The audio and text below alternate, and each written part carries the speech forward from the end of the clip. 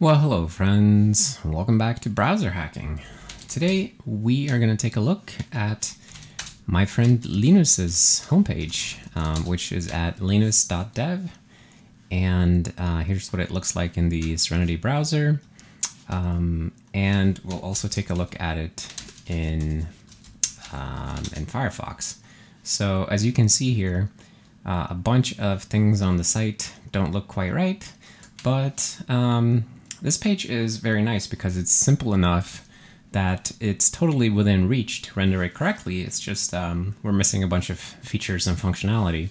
So some stuff here that stands out is that um, we don't get the German and UK flag um, because we don't have emojis for those. And I think also maybe they are multi-code point, um, which we don't support.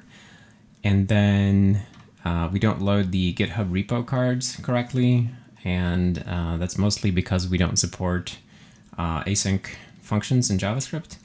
And then uh, at the bottom here is a flexbox that we also don't support.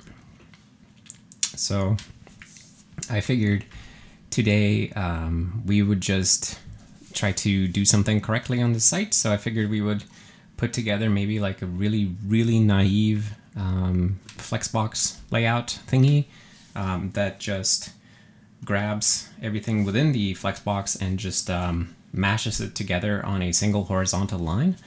Um, that would be a place to start, and they would also conveniently cover uh, the use of flexbox here, I think. So if we take a look here, um, tap, tap, tap, tap, tap. Where are all these links? In the footer, of course, right. So um, flex, and it's just display flex on this footer div, or uh, on the footer element, and then everything in it is just a bunch of block level uh, anchor tags with some text in between them. So I think in practice what we want to do here, um, without without actually reading this back, is that um, when we encounter display flex, we want to uh, make a flex uh, formatting context and then um, grab all of the boxes and just uh, iterate through all of the block level boxes and just um, like place them on a horizontal line, right? And then I guess the boxes themselves are uh, shrink to fit layout, which means that they sort of um, are automatically sized so that their content fits. Um, that looks like an approximation, at least, of how this would work. And then we'll just ignore all of the other features of Flexbox for now. So I think that would be pretty good. Let's um, see. So let's let's um, let's copy his homepage so that we're not hitting his server over and over. Um, so we'll just do something like this. And what do we have here? Um, yeah, we'll just do this. And then we'll rename it. And we'll see, does this work? Um, we'll see now. Now it looks very similar to the way it looks here. Um, great. I think uh, if we actually make it load the CSS though, um, that's a, oh, that's a preload link. Wow, my man's fancy using preload links and stuff. Um, ba -ba -ba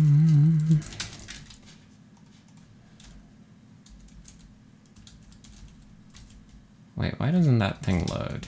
Um, oh, right, avatar images. Okay, here we go. Right, so now we have our own local copy of it, um, which will be good for testing. And then let's see if we can just make a um, flex flex formatting context. I think that's what we should call it.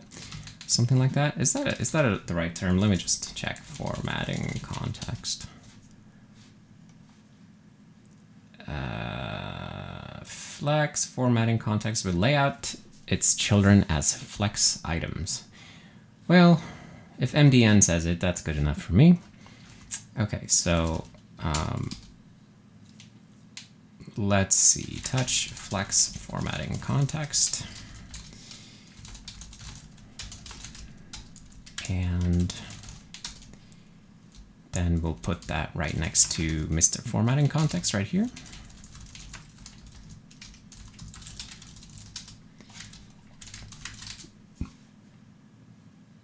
And we're good, okay.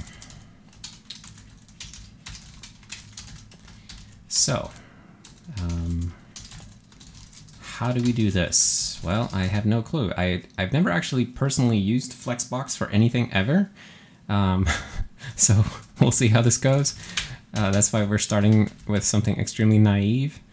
Um, so let's, let's see, let's begin with one of the other formatting contexts as a base. So currently we have three formatting context subclasses block formatting context, inline formatting context, and table formatting context.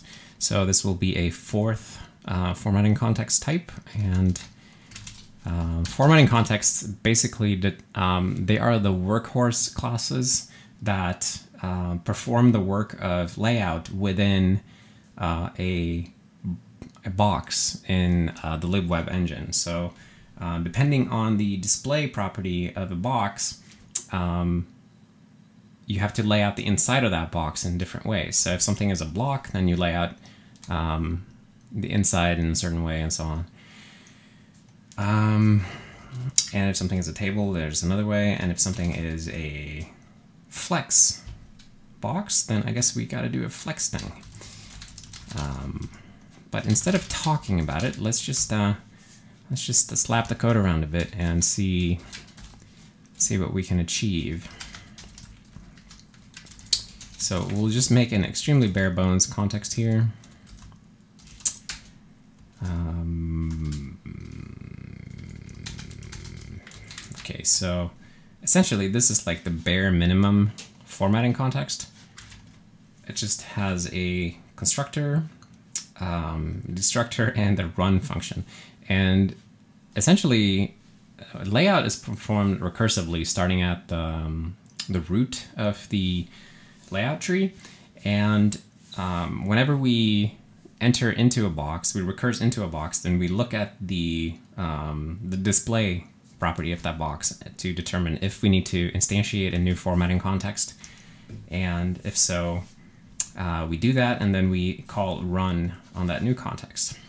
So this is going to be called, actually let's set up the call to this thing right away because there's this thing called layout inside.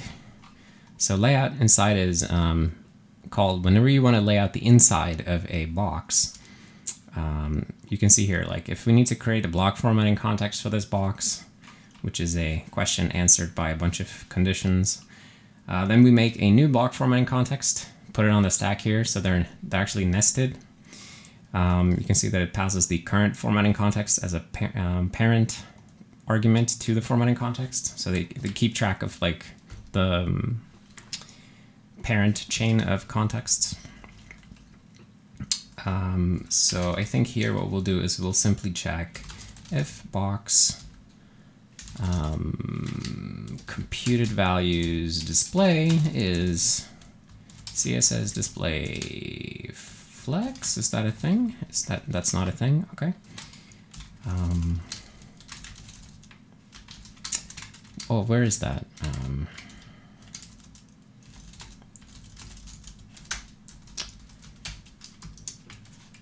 uh, oh, it's simply not a thing yet. Well, we can just add it. So flex. And I guess we need to add it in a couple more places. Like this is the CSS identifiers uh, list. So it's just stuff that the parser will recognize. So we'll add it here. And um, display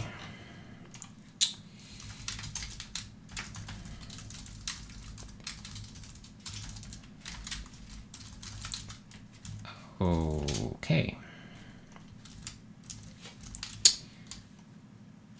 So, if the computed values display is CSS display flex, then uh, flex formatting context for this box, this context is the parent, and then we will simply run the flex formatting context on the box. And I worked on this in the new year, so let's write that down. Okay. So that compiled amazingly. Almost. Um, I guess we need to actually implement some of this class now, since we're calling it. Namespace web layout. All right. Flexamundo.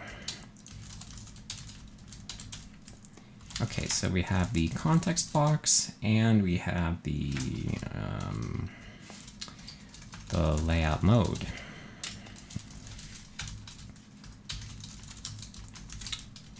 Okay, and then finally uh, run.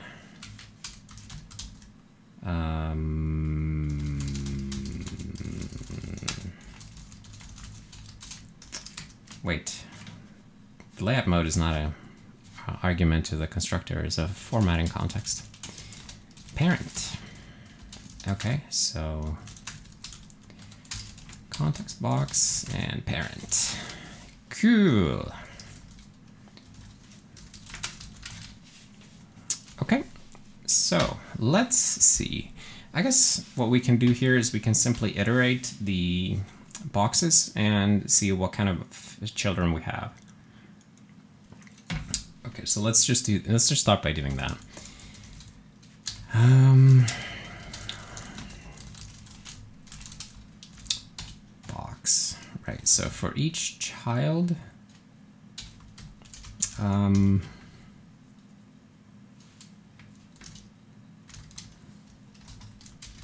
I'm I'm not exactly sure what kind of children we're gonna have. I guess we we care about um,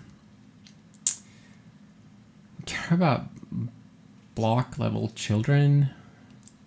So essentially, like um, this text here in between the uh, anchor elements is going to be um, wrapped in anonymous boxes, right? Because or at least I think. I mean, here it calls them flex items, but I think for simplicity, we can just wrap them in um, anonymous boxes.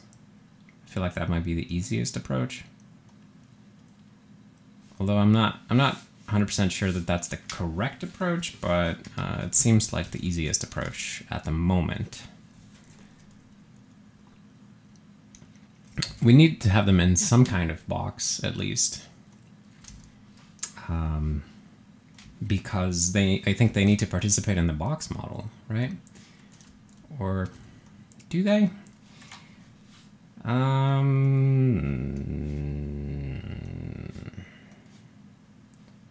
i'm unsure. Let's not think too much about it. You know what? Let's let's actually just um, do nothing in here for starters and we'll take a look at the layout tree instead just to see what we are working with.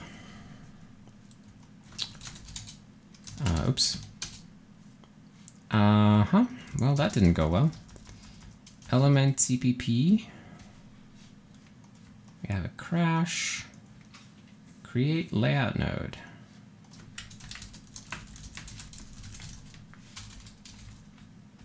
Uh, oh, I guess we don't know what kind of layout node to create for a um, um, for display flex. So we actually assert when we don't know what layout node to create. I mean, that's okay. I think we can just, maybe we can just make a, um, like a regular box here. So I don't know. Um, I'm just thinking maybe this doesn't need to get so complicated. So what if we just make a box?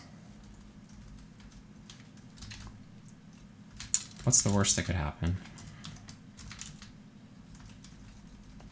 Layout box, document node, and la la la. Okay.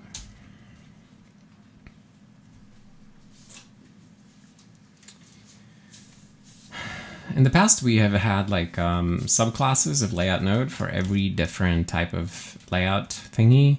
But uh, after refactoring the layout system and moving to these formatting contexts, um, there's much less need for specialized subclasses of layout node. And um, all of the actual layout work is done by the formatting context instead. Um, previously, the layout work was within each layout node subclass. So sort of a, it's been turned inside out. And I think maybe we don't actually need a sort of a layout flexbox class or whatever. Um, all right, so everything fell apart. Fine. So what are we looking at here? We have uh, box body. Oh, I guess the body element is display flex as well. Yeah, right. So, okay. So if body is um, allowed to be the default, which is block, I guess then uh, this thing ends up working a little differently. But when it is flex, that's when it snaps into the middle that way, which looks kind of neato. Align item center. Okay, okay. So Hmm. Interesting. So when we turn on this thing, then um, actually we have to deal with the body element too. I, I thought we would only have to deal with this thing at the bottom. But it seems like the whole body is going to be pulled into this these shenanigans. Um, okay, well, fair enough, fair enough. Um, let's just keep going forward then. So I think um, we'll just keep going with the original plan anyway and see what happens. So um, looking at the layout tree here, we see that we have a um, body here, which is a box now, which is flexy. And we also have a box for the footer. Maybe we should mark these somehow in the web dump thingy, we have some things here where we mark stuff. So like if box computed values display CSS display flex, then let's just say uh, flex color on.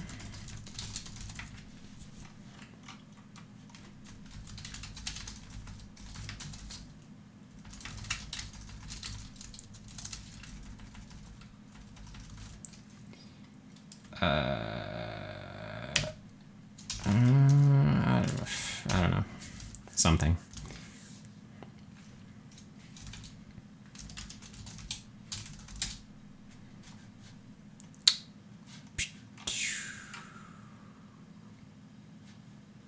Okay, well that's a very uh, unassuming color actually.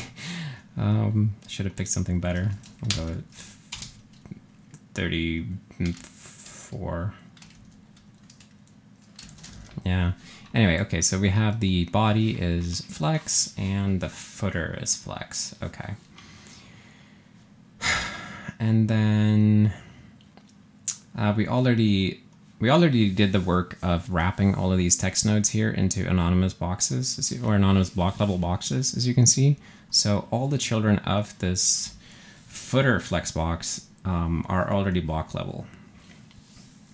So that helps us because then all we need to do to make this thing render nicely is to iterate through the children and um, figure out the width for each one and then like stack them on a line, right? So let's see how we would do that. So box for each child. mm, of type. Block blocks. Let's do block children. Okay. Um, child box.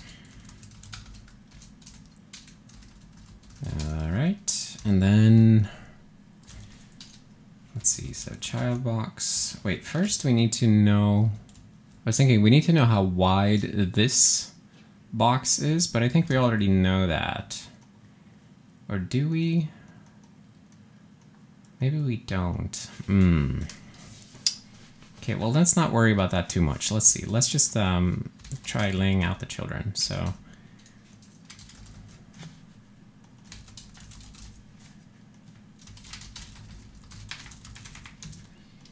Child box dot. Um, wait, what is the thing that we want to do now?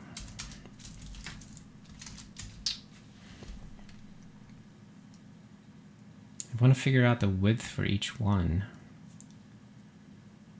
What is the width of somebody here? The width of all of these things is gonna it's gonna be complicated, but in the simple scenario where none of them have a specified width, then it's just a matter of saying like layout inside and then compute based on that. That's your width. So let's just assume everybody is shrink to fit. So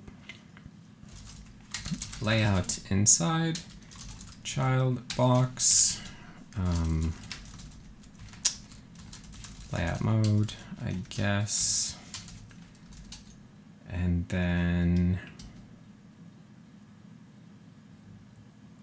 what do we learn from that?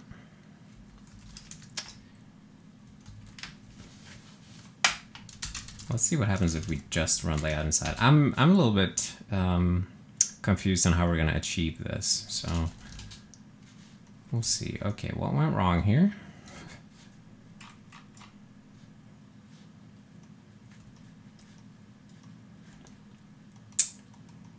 Uh, flex formatting context calls layout inside, which calls inline formatting context, which is very sad in inline formatting context, something asserting. Um, that doesn't look healthy at all. What's going on here?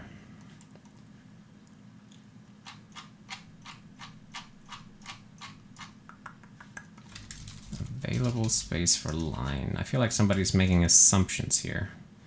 It's assuming that its parent is a block formatting context. Hmm, well, you can't be doing that. Because your parent is now not a block formatting context. Dang. Okay, so let's see. Um, okay, I think we're gonna we're gonna um, come up with something here.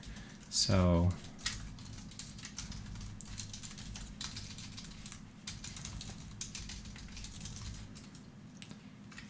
we'll do a dynamic cast to figure out if this is indeed a block formatting context, and if it is, um, this is about like uh, figuring out what happens with the floats in a block formatting context. So I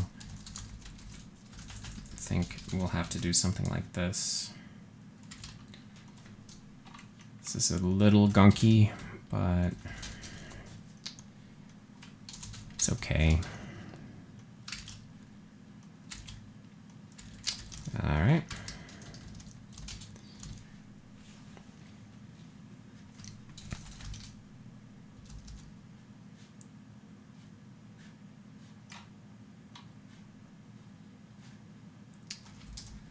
Flex formatting context, layout inside.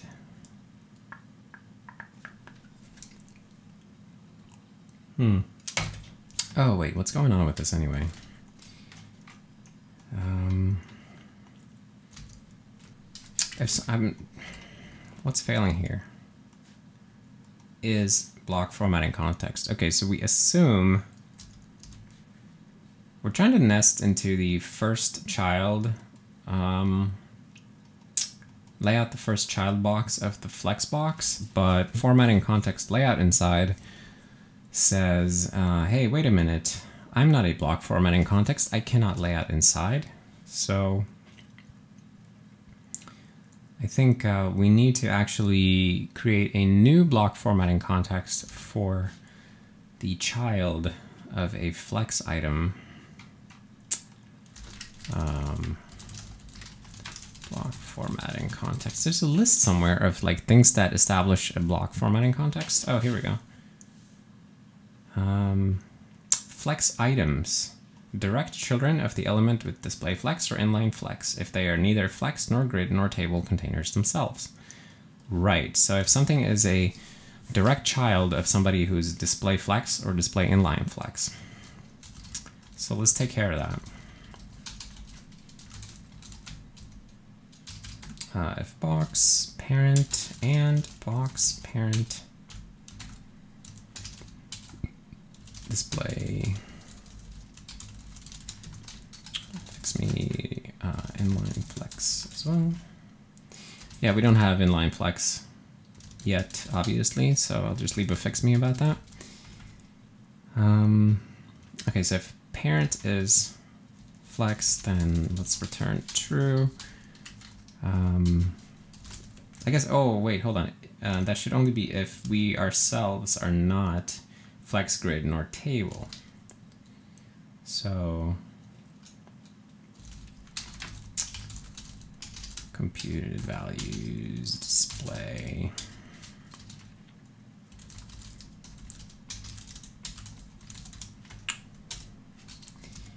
Yeah, so, um, Let's make a note of that, like...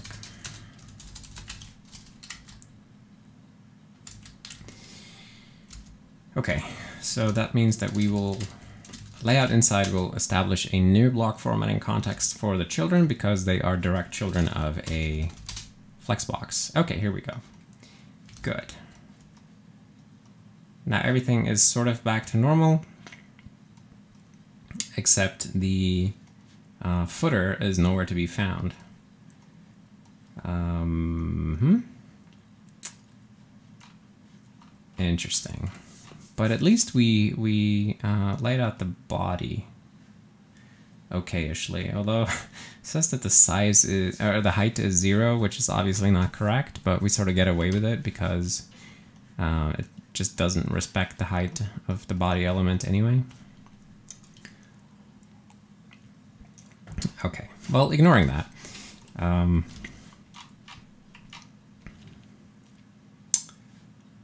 So it's probably not enough to simply lay out inside. We also need to...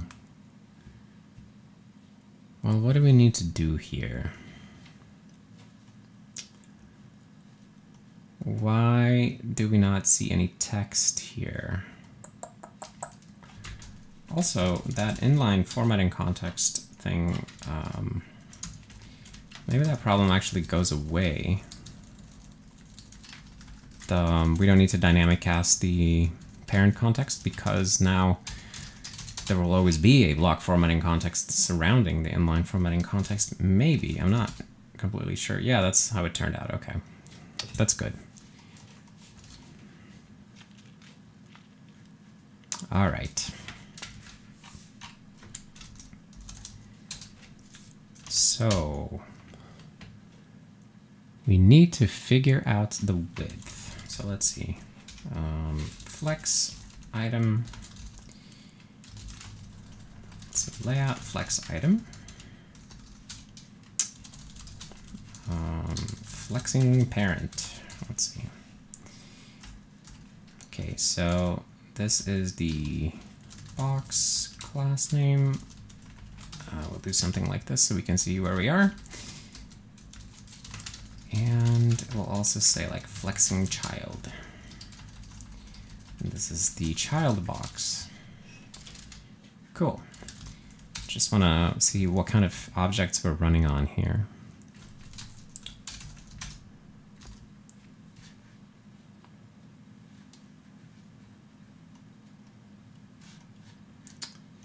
Okay, so running on box 2DC D114. 2DC D114, that's the body. Hmm.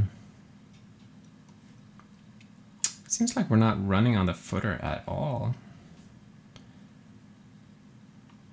Which is really weird. What's up with that? Why are we not getting to that thing?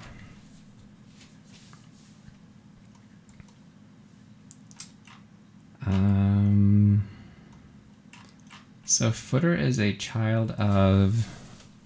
Oh, it's a child of um, of body. So it's a flex child of flex. Right. So we call layout inside. Then it's a flex child of flex. So we simply make a new flex formatting context and then run it. Wait, but I feel like then we should do the thing. Okay, hold on. Flexing child. Right, so we're not actually... Oh, I see the problem. because I'm uh, I'm only iterating blockbox children, so I, I um, constrained the type of child that we're iterating here. But we should um, we should iterate all child boxes, not just block level boxes. Okay.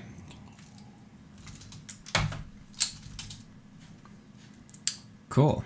So now we can see the um, footer, footer neatly stacked up near the top there.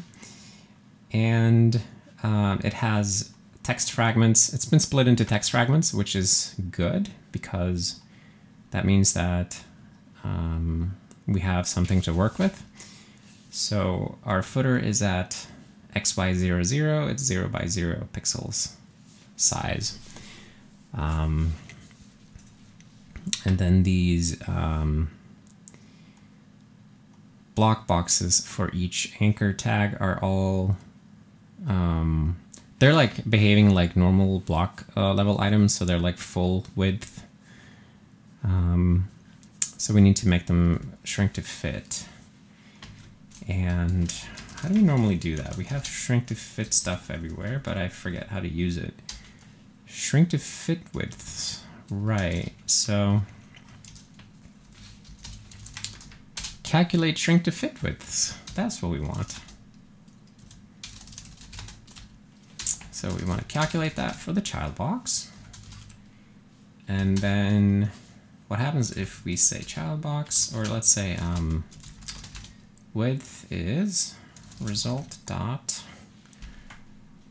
um, oh man, I, I forget what the algorithm is, that, but I bet we can just take it from somewhere. It's usually something like min of max of preferred minimum width available width, preferred width, blah, blah, blah, blah, blah. Yeah, right.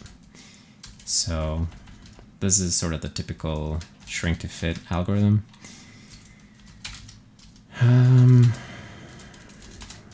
shrink to fit width, shrink to fit result. Let's just um, be extra explicit here.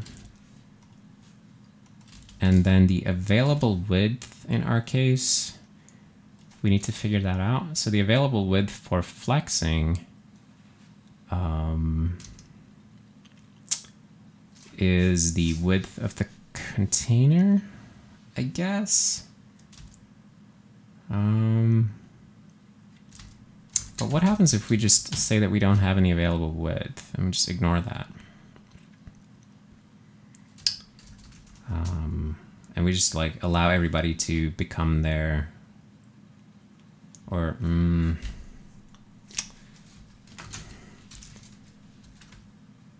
I'm not completely sure about this, but let's just uh, push forward and see what we can come up with. So we'll say like child box set width, shrink to fit with. Then what happens?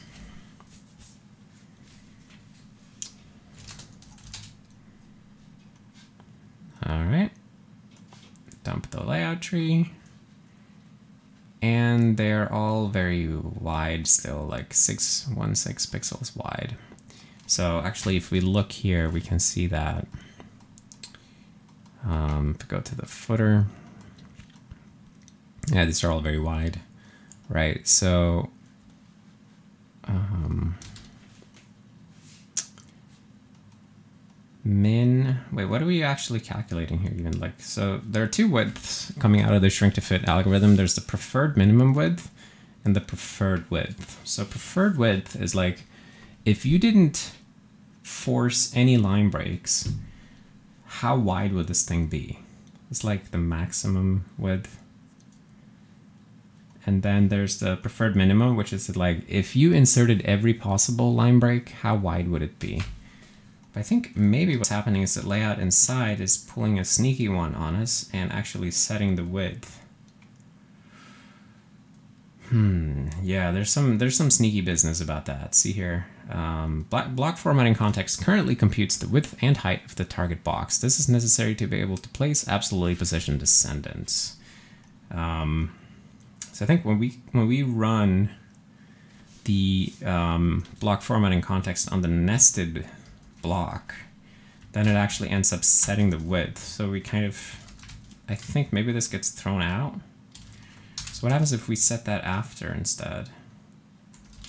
But wait, but then how does he know how much space he has? Maybe he doesn't.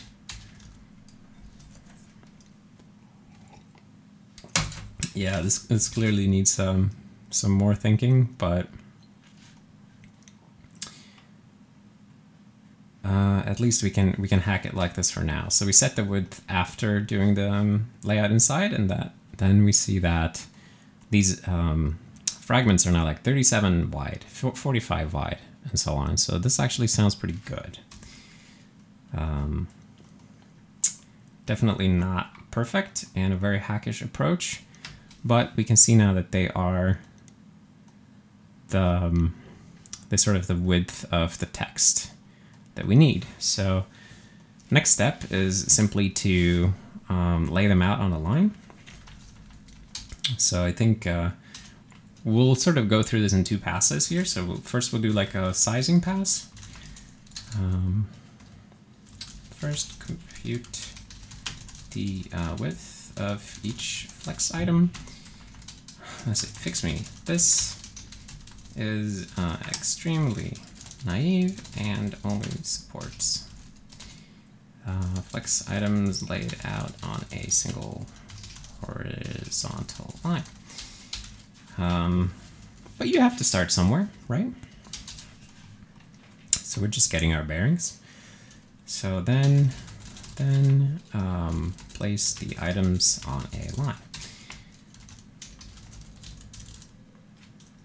For each child of type box, um, then what we need to do is simply take each of them, put one um, wherever we want to start from the left, and then start like filling in to the right. So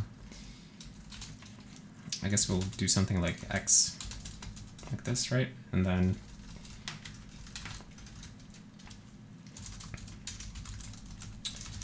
set offset X um, zero maybe? And then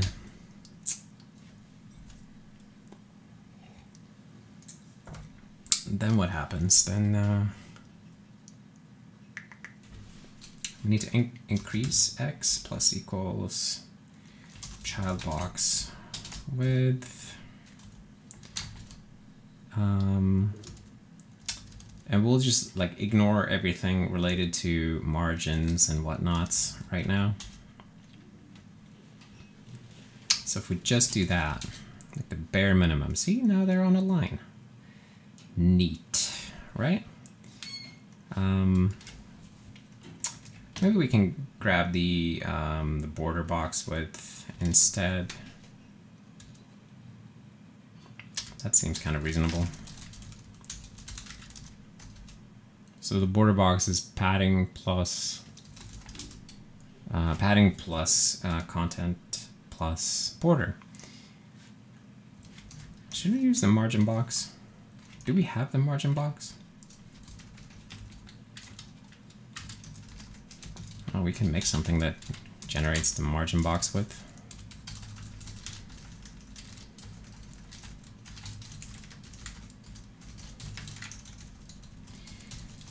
No trouble.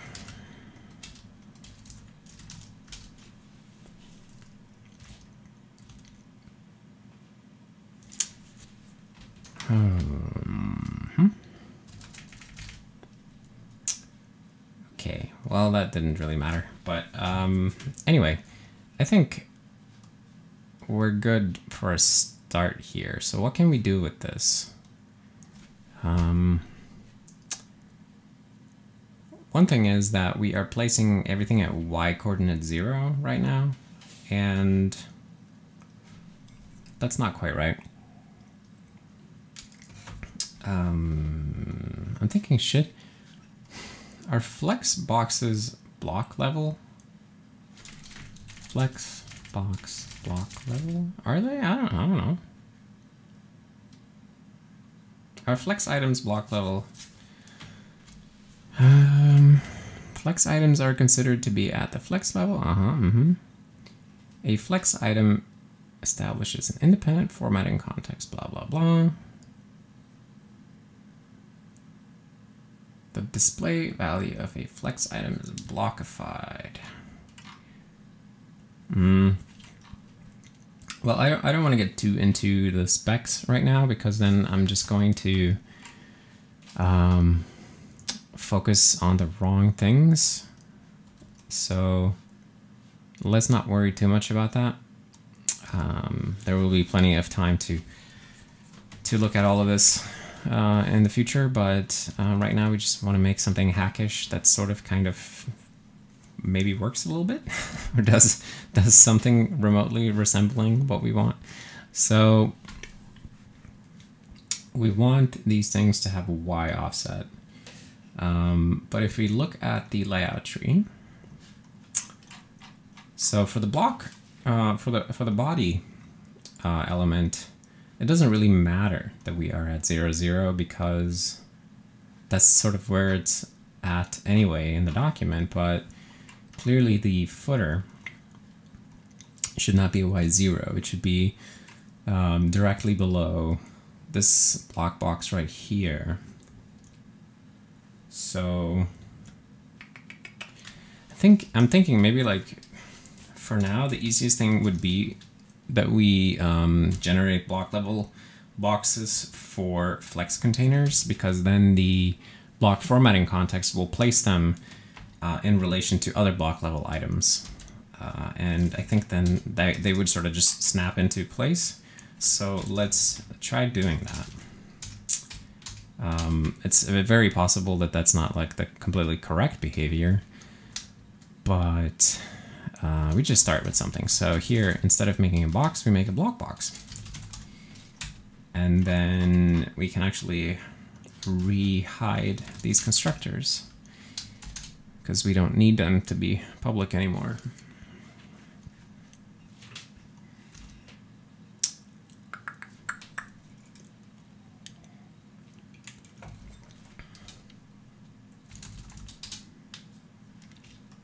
All right.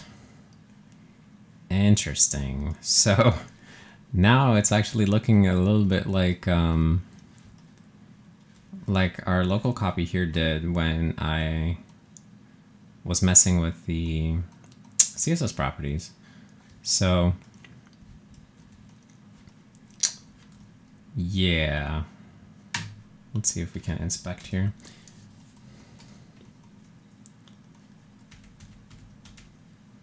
The height is still totally wrong, but maybe that's okay. Yeah, so these boys are over here, that's fine. But, okay, yeah, yeah, right. So body now has, uh, body is a flex container. It has main and footer. Main and footer. So this is main and footer is here. Footer does not have dimensions for some reason. I think it doesn't have height, um, but these boys do. So um, essentially we sort of distributed the space here between the um, the main element on the left and the footer on the right. Oops. And align items center. Wait, what does that actually do? Flex direction column. Yeah, I'm not, I'm not like familiar with these properties, so I'm just kind of guessing what they do based on what happens when I click on them. Um, flex direction column. Okay. Right, so that means that uh, the body element sort of flexes uh, vertically and the footer flexes uh, horizontally. It looks like flex direction. Let's look at a flex direction.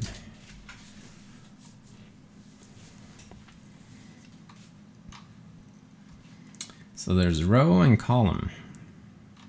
Sure. And column is stacked. Uh-huh. And then you have reverse, which I guess is like uh, top to bottom or bottom to top. Okay. That's interesting. Okay, so basically the flex direction, I think like the simplified uh, way to support that would just be to have um, like vertical stacking or horizontal stacking of items. And that's totally something we can do here, even with our super hackish bare bones approach. So we just need to um, parse the flex direction property and uh, try to do something sensible with it. So let's try that.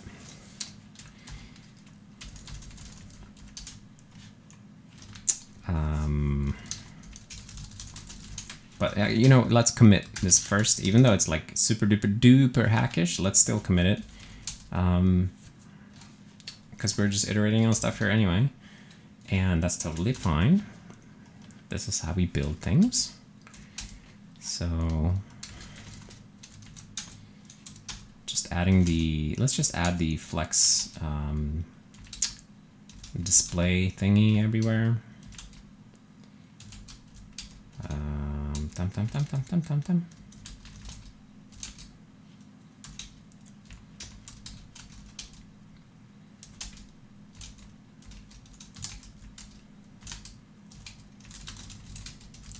Libweb. Parse um, display flex and create block box layout nodes for them. I'm not 100% sure that block box is the right layout node for flex containers, but it um, it's the uh, most fitting, most obviously fitting one we already have. Yeah, let's say. And then let's also add the margin box width thing. Add box, uh, layout box, margin box width. Just a little helper. Okay, and then let's add the formatting context class.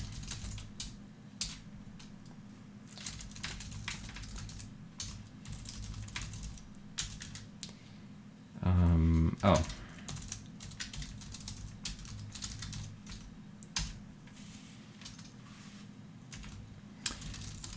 Add a, um, a very naive um, flex formatting context. Um, this uh, is very dumb and um, only uh, lays out its child boxes on a horizontal line after shrink to fitting them. Um, uh, after horizontal line uh, with their shrink to fit width. Yeah.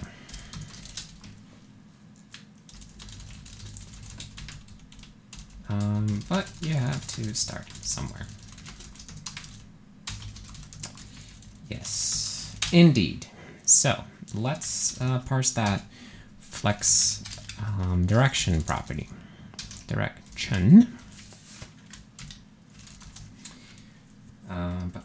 Um, so we need to have a new enum for that in the CSS namespace here. So that would be something like flex direction. I keep wanting to type flex directory, like my muscle memory types directory by default. Um, okay, so what were the values? Row, row reverse, column, column, reverse. That's it. Row, row, uh, reverse, column, column, reverse. Um,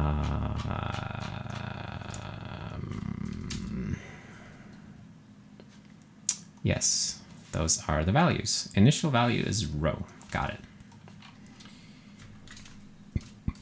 Mm, okay, so for computed values, let's see.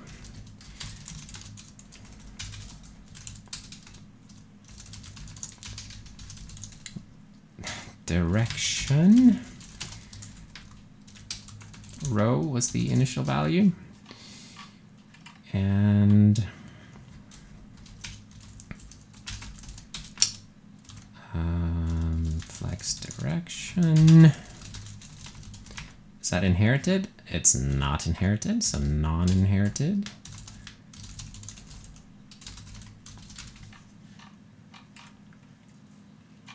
Um, goes right here.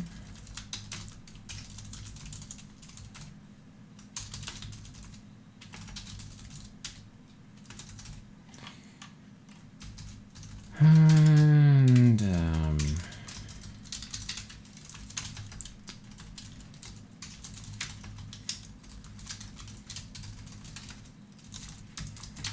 okay. Just doing all the boilerplate stuff for copying um, copying the CSS, the parsed CSS style into the actual layout node object. So it's a bunch of boilerplate for adding a new property. Um,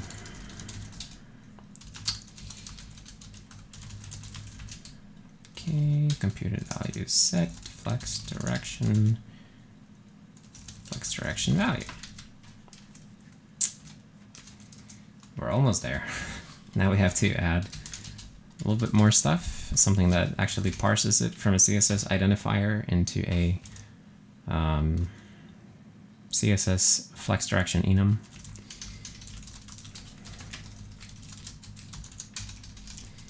The CSS um, parsing and cascading stuff in libweb is quite weak, and it's something that we need to improve.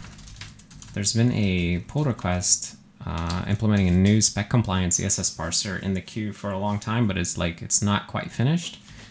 Um, but at some point we're gonna have to pick that up and finish it, I think, because it's sort of it's kind of holding us back not having a better CSS parser.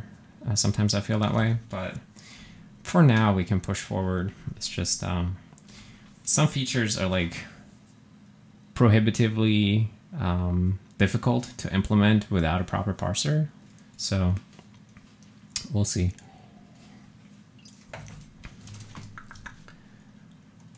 Hmm. So what was I doing? Flex direction.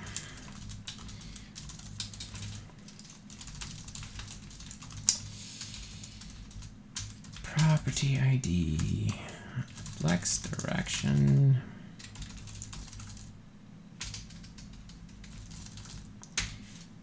Right, I added it to the wrong place before. So let's see. Alphabetical order.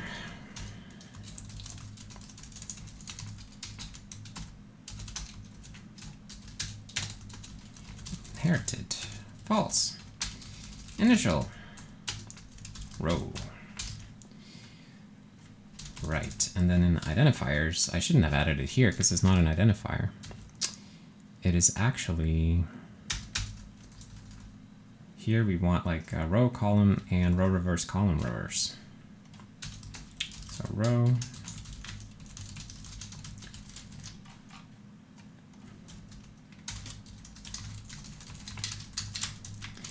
Cool.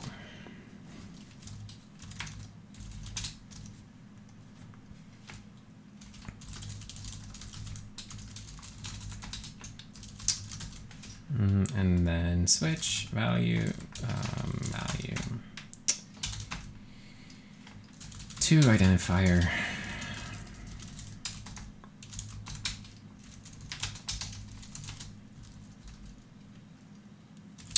Flex direction. Oh. Uh, man. I wonder what's going to be more cumbersome, like implementing all the parsing of the property, or uh, implementing the property behavior. But that should be the end of parsing.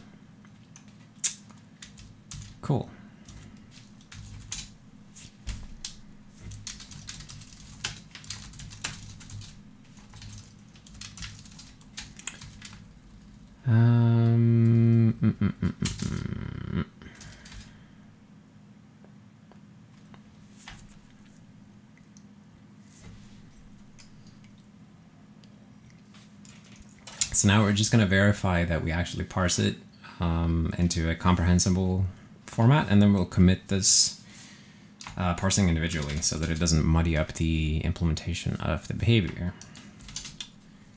Um, so if we look at um, the body has flex direction column, cool, and footer foot, foot, foot, foot, foot, footer, footer.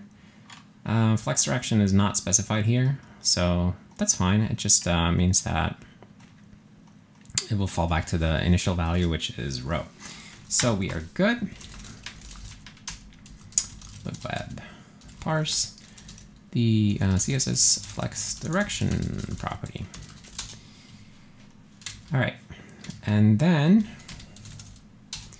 in the formatting context, we need to, um, in our extremely naive flex formatting context, we are now going to choose the direction um, based on um, the flex direction. So here, like, um, I guess we can do something like, uh, wait, first let's extract the property. So flex direction is my box computed values flex direction. Okay. Actually, okay, so let's say like um, vertical. Uh, or horizontal. Let's ignore the reverse thing and let's just say like whether it's horizontal or vertical. So horizontal is um, column. Right? Oh, wait, which Damn it, which one is which? Column is vertical. Right, so row is horizontal. It's laid out in a, in a row. Um,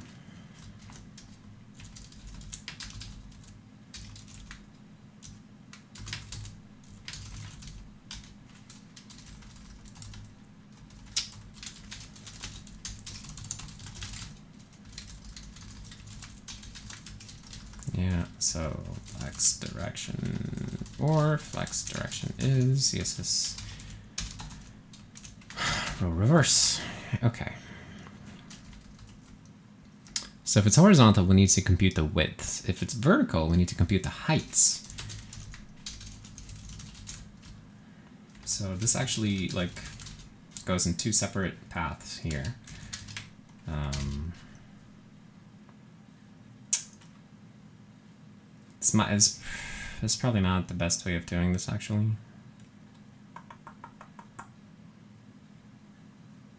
Uh, maybe we can keep things consolidated. Instead of like branching completely like that, maybe we can branch inside. So like here, we would have like something like this. Um, and then sort of like uh, if horizontal increment x, else y is uh, child box, border box, height. Oh, we're supposed to use a margin box. That's why we added it. okay, that was dumb. Height.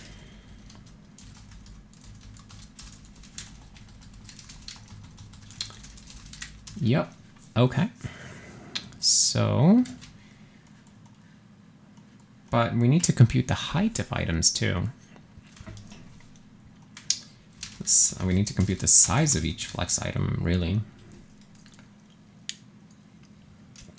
So how do we know the, um, the height of them? I guess some of them will compute it by themselves. Um, hmm. Okay, wait, let's just see what happens if we just run this.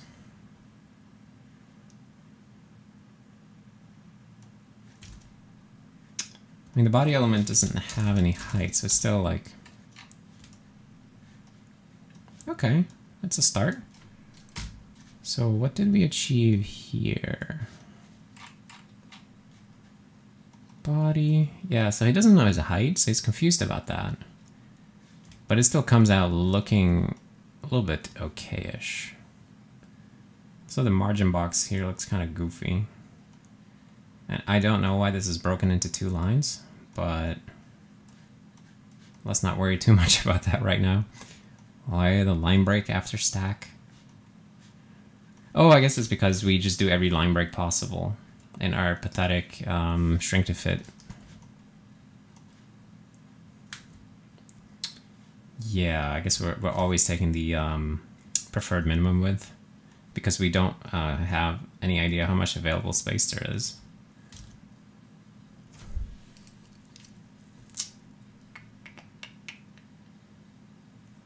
Hmm.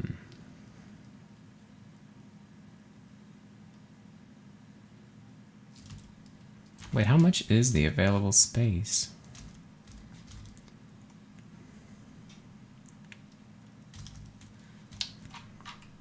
What would be the available space? Let's look.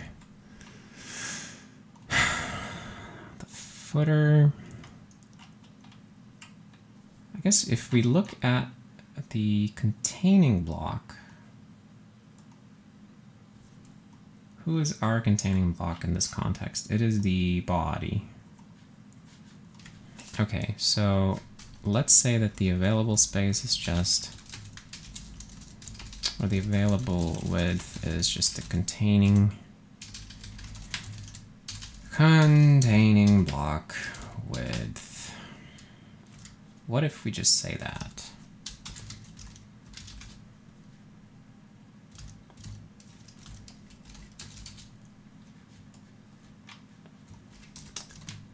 It still doesn't solve that issue. So how much is that space anyway?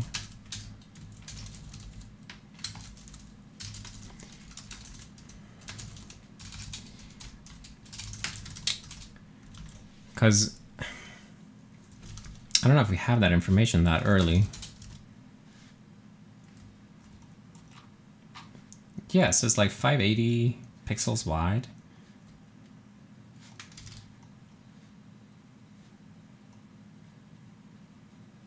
Hmm. Shrink to fit width. So max of preferred minimum and available.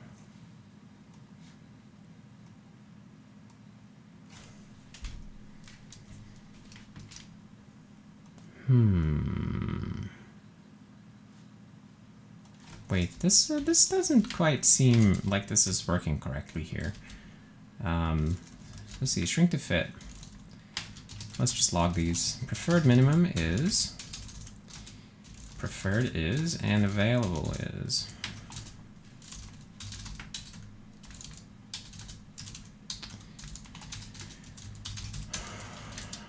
Feel like something is going goof with this computation. And we end up line breaking Stack Overflow, which I don't want to do.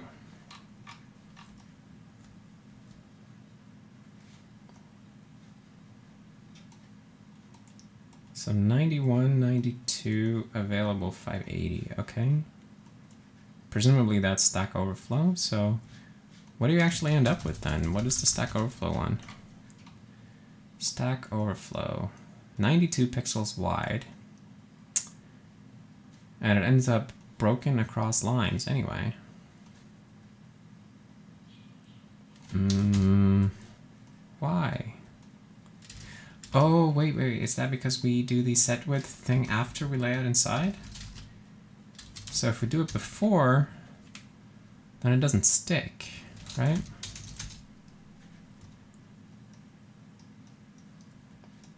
Hmm. Okay, this is very confusing. I'm just uh, trying things at this point. Um,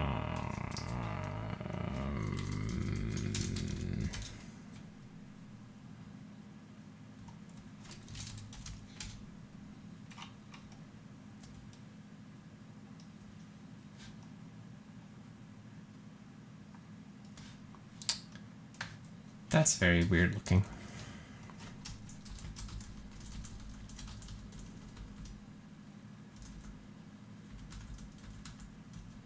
Why are they so oversized?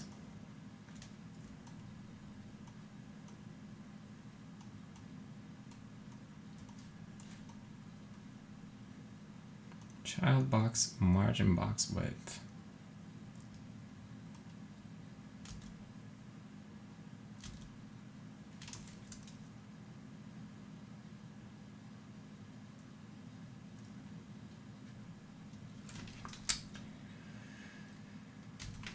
Um, okay. Slightly confusing, but alright. Why are they like that? Like, why are they spaced out? That doesn't make sense to me. Well, these fragments are so wide.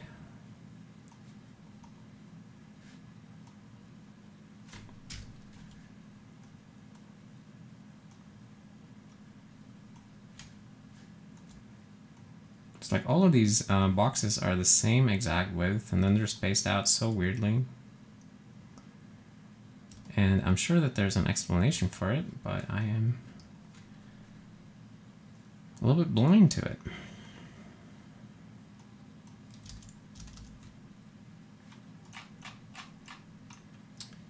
Anyway.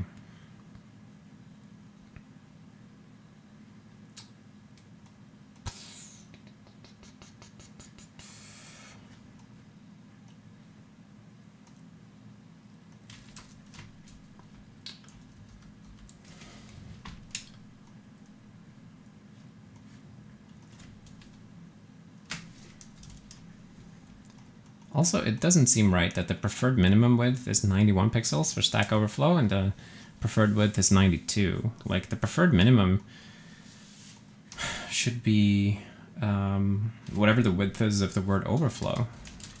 So, something here is not quite right, but I think we'll, we'll ignore this and let this be like its own investigation. Unless there's a... I was thinking, like, is there a non-breaking space here? But there wasn't. So, let's not get uh, stuck in debugging that line break too much. Um, instead, let's just worry about the um, um, vertical versus horizontal. Um, margin box thing. Let me just, uh, oh, um,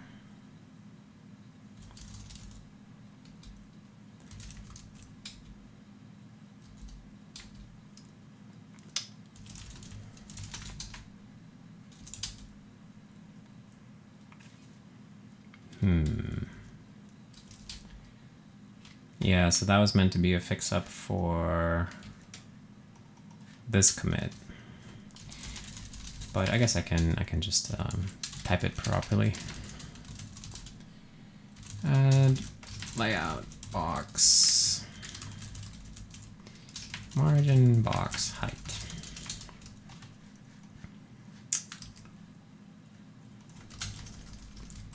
But how do we uh, improve this at this point?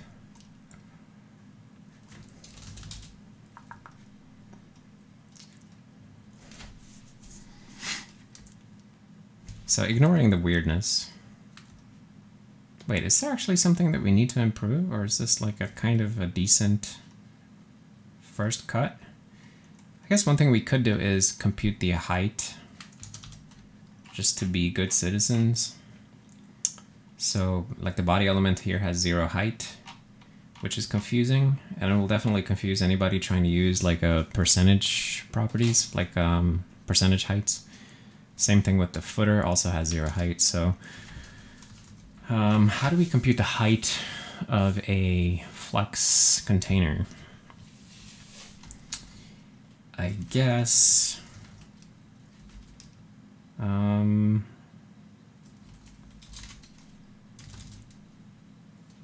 I guess we do it here, right? So um, if not or, or the height would be the y. If it's a horizontal one, then the height is confusing. I'm not quite sure. But if it's a vertical one, then um, set height. What if we just do something like that? What happens then?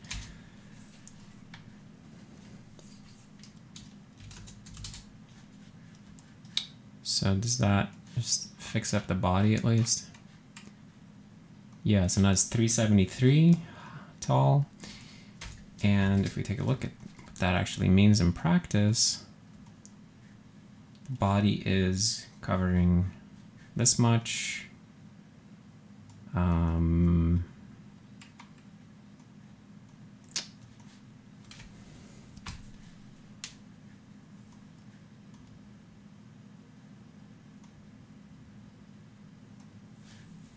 Hmm.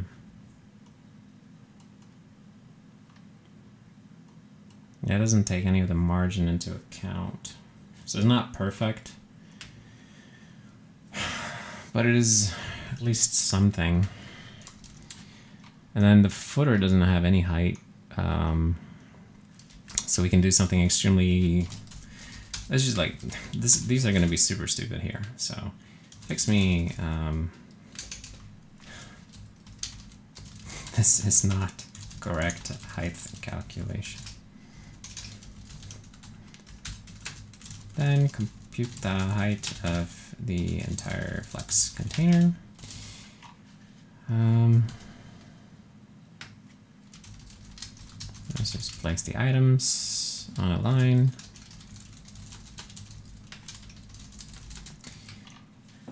Yeah.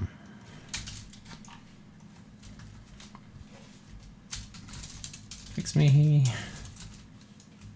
Support proper um, placement. I mean, we don't need to say fix me everywhere because the whole thing is a big fix me. But uh, we can do something here, like um, I don't know, like we can um, like for a horizontal one, we can figure out like who's the tallest child, and then we'll just say that the um, height of the flex container is the height of the tallest child, right? Tallest child um, height. And then here we'll simply do like tallest child height is max of tallest child height, child box height. Yeah.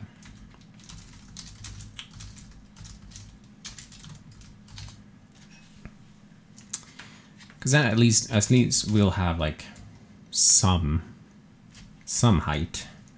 And it won't be perfect, but um, so that's our footer. It seems like the, the width is also not getting computed very well. Um, so how do we, we need to um, compute the width set width, I guess width in that case is x, and width in the other case is like uh, widest child width. this is really goofy. Um, but, but, but, but, we are just making something that resembles something. This is not the time to feel self-conscious about correctness.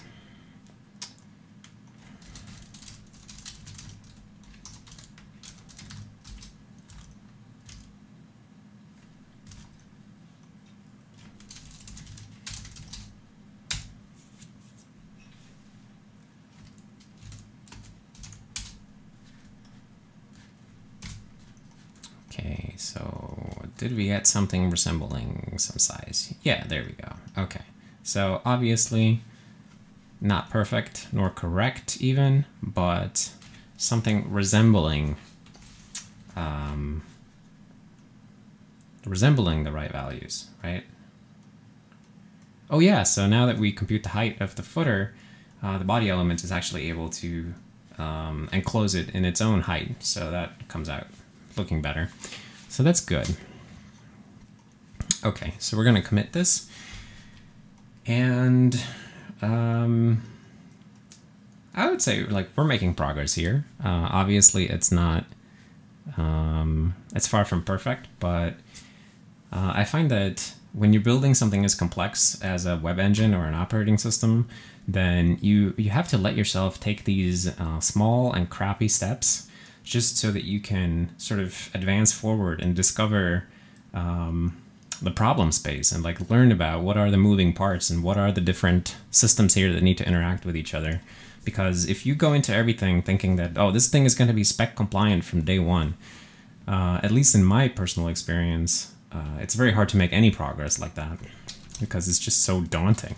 So, um, this here is uh, I, I often talk about like the value of building a piece of crap and then iterating on it what you've seen here today is me building sort of a piece of crap flexbox uh, layout and then we can iterate on this and, and improve and, and like learn more as we go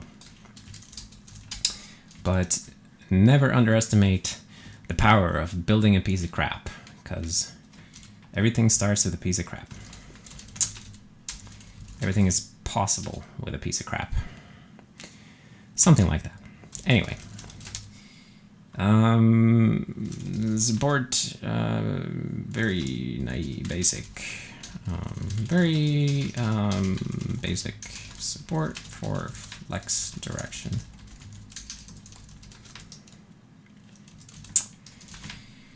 Uh, the flex, the FFC uh, now supports uh, both uh, vertical and horizontal um, flex layout.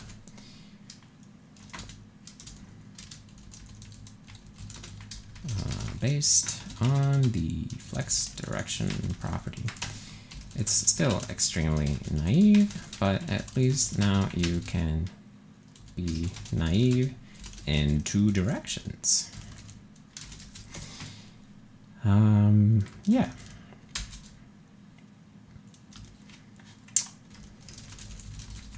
Let's say something nice here, like, um, this, um, this implementation of Flexbox is going to take a lot of work, but hey, um, at least now we're We've gotten started. Yes. Boom. Cool. So, I think that's going to be it for today's video. Uh, if you made it this far, then I thank you for watching and for hanging out. Um, I hope that you saw something interesting here today, and um, I thought this was pretty fun, pretty interesting. I learned a whole bunch of things that I didn't know before, and um, I think we're probably gonna gonna have to replace basically all the code I wrote today, but um, but that's okay because now we're started on this. That's what matters. So thank you very much for hanging out, and um, I'll see you next time. Bye.